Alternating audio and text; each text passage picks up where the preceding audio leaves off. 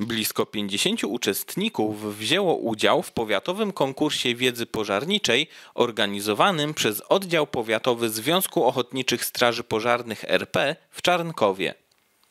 To już jest 39. edycja turnieju wiedzy pożarniczej. Odbywa się to na skalę kraju. Poprzez eliminacje gminne, powiatowe, wojewódzkie, aż do szczebla centralnego dochodzimy. Jest to zaangażowanie przede wszystkim dzieci i młodzieży. Dzisiaj się odbywa ten turniej na trzech poziomach. Jest to szkoła podstawowa, szkoły gimnazjalne i szkoły średnie. I ci, którzy wygrają, będą reprezentować nasz powiat na szczeblu wojewódzkim, który też będzie niebawem, chyba 16 kwietnia we Wronkach się odbywał. Tematy, które są tutaj prezentowane, które młodzież przygotowała, to są tematy, które przygotowali nauczyciele, strażacy z jednostek rodzimych na temat ochrony, zabezpieczenia, pomocy, posługiwania się sprzętem i w ogóle wiedzy o, o historii, o ruchu strażackim w kraju. Jest to bardzo, że tak powiem, patriotyczne, wychowawcze działanie. I ta młodzież dzisiaj ma tu się sprawdzić. Raz piszą test pisemny i potem ci, którzy wygrają, ten najlepsze że tak powiem, oceny dostaną największą ilość punktów, będą startowali w eliminacjach ustnych. I łączna suma tych wyników i pisemnych, i ustnych dopiero wyłoni zwycięzców generalnych na szczeblu powiatu, którzy będą nas reprezentować wyżej. Przez kilka godzin w gimnazjum publicznym w Lubaszu trwały zmagania, które wyłoniły zwycięzców. Krystian Usiewicz, Wojciech Kubacki oraz Weronika Polak będą reprezentować powiat na szczeblu wojewódzkim. Każdy w swojej grupie, pierwsza osoba przychodzi do, na ten szczebel wojewódzki. Y, Jeśli tam wygra, no to przychodzi do szczebla e, Polski. E, Powiem tak, że mieliśmy takie jakby w historii, gdzie nasi tutaj uczestnicy brali udział właśnie w ogólnopolskiej turnieju.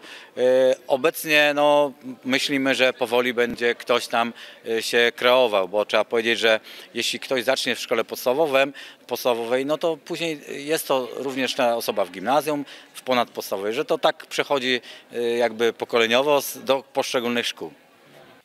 Impreza organizowana jest cyklicznie i oprócz rywalizacji ma bardzo ważne podłoże edukacyjne. Przede wszystkim e, to jest bardzo poważna sprawa.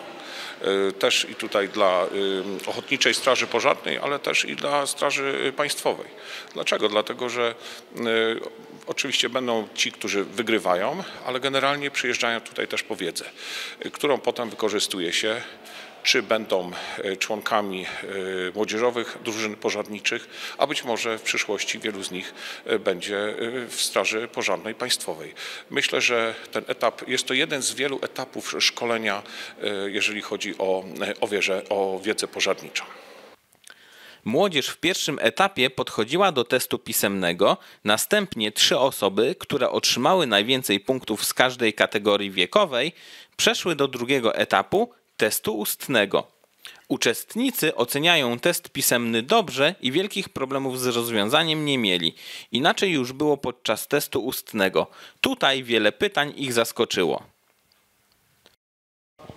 E, No, testy takie już zamknięte były dosyć proste, ponad połowę miałem, tylko że te już, kiedy powinniśmy e, odpowiadać ustnie, już były dużo trudniejsze i naprawdę były na wyższym poziomie. Myślę, że z gimnazjum nawet mógłbym więcej odpowiedzieć niż z podstawówki. Na zakończenie turnieju wyniki wyglądały następująco. W kategorii wiekowej szkół podstawowych pierwsze miejsce zajął Krystian Łusiewicz, drugie miejsce zajęła Kinga Kamińska, a trzecie miejsce zajął Stanisław Kotiuszko. W kategorii wiekowej szkół gimnazjalnych pierwsze miejsce zajął Wojciech Kubacki, drugie miejsce zajęła Weronika Bielejewska, natomiast trzecie miejsce zajęła Anna Surma. W kategorii wiekowej szkół średnich pierwsze miejsce zajęła Weronika Polak, drugie miejsce zajął Tomasz Sanocki, trzecie miejsce zajął Paweł Naplocha. Dla wszystkich, którzy przystąpili do konkursu, był to na pewno pouczający dzień i bez względu na zdobyty wynik wyszli z nowym doświadczeniem.